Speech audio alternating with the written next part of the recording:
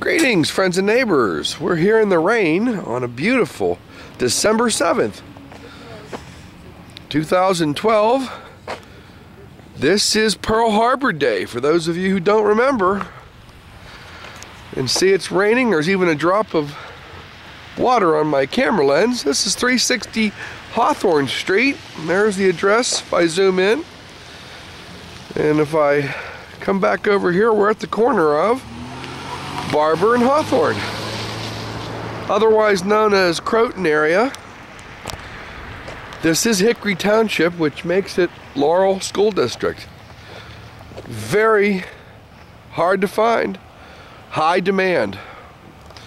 As you can see, there's a detached three-car garage. Two-car bay and also one-car bay.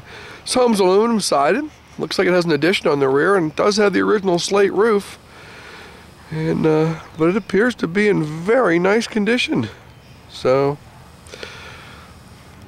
take you take you for a walk around the outside. If you notice we do have storm drains. There's all public utilities here so even though it's Laurel School District which is very rural normally there are public utilities. Look there's even a nice little driveway right here off of Hawthorne. And look at this glass block windows, central air conditioning. Wow, the whole shebang. What more could you ask for? Well, let's see. If we take a walk inside, you can see I'm looking down so I don't trip. This is an actual showing. These are the things that happen. People call us and we trip and fall and all kind of things. Is the door open? Oh, well, Let's take you in the garage here while you try to get the door open. And block garage here. Looks like uh, this aluminum. This is not aluminum. This is vinyl siding. At least on this part of the house it is. The whole home's vinyl? Okay, let me get you through the garage. Go ahead, sorry. Take you in the garage here. Huh.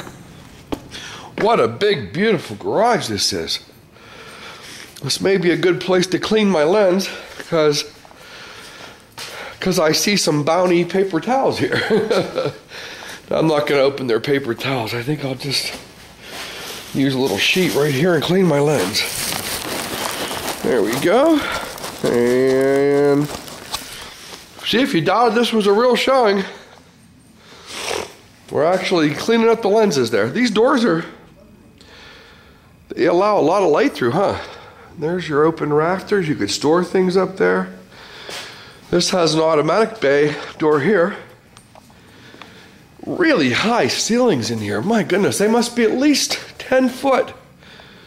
There's shelves over there, concrete floor, and you have a nice electric service out here, and a insulated door. The whole the whole thing. Great place to work on cars. I'll take you for a walk around this side here. Here's the blacktop driveway plus a little concrete area as well. There's the outside of the front of the garage facing Barber. And this is really the back of the house here. So,